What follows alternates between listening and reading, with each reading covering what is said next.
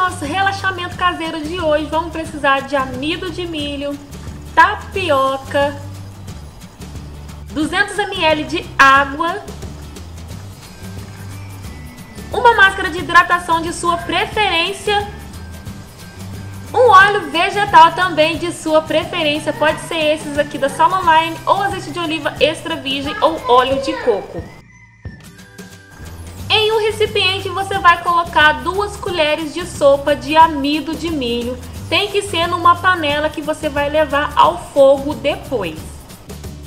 Uma colher de tapioca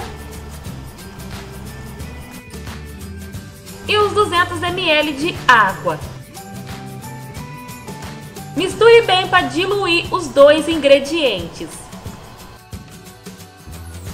Agora é só levar ao fogo e mexer até que fique uma mistura homogênea.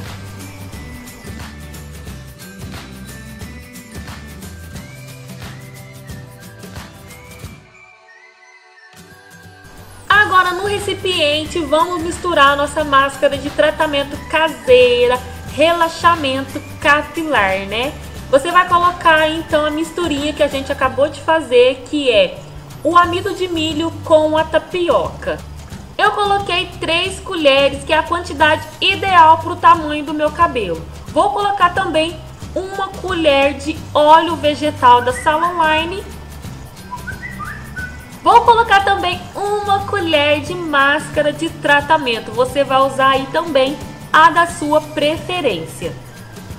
Vamos misturar para ficar bem homogênea com a tapioca e o amido de milho aplicar no cabelo e deixar por 30 minutos, condicionar e finalizar como de costume. Você vai ter aquele cabelo com aspecto maior.